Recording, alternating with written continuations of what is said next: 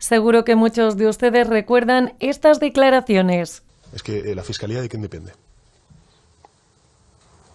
¿De quién depende?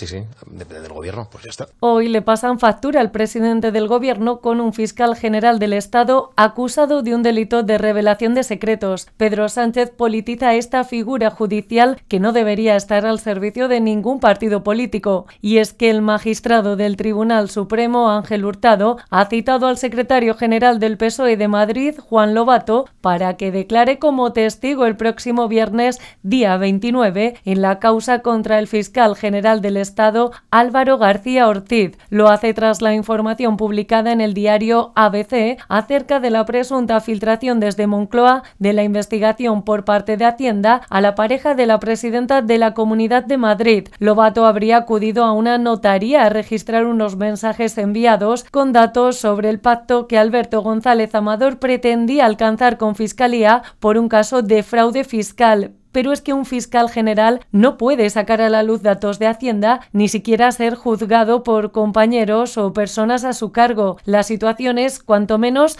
éticamente reprobable. Y mientras este asunto avanza en los juzgados, el PSOE se reunirá en Sevilla en su Congreso Federal para apoyar de nuevo a Pedro Sánchez en la Secretaría General del partido o no. ¿Qué harán los diputados por Albacete? ¿Seguirán apoyando a ultranza a su líder o mirarán a la calle para ver si realmente los socialistas siguen creyendo en este presidente que al parecer maneja a su antojo hasta la Fiscalía?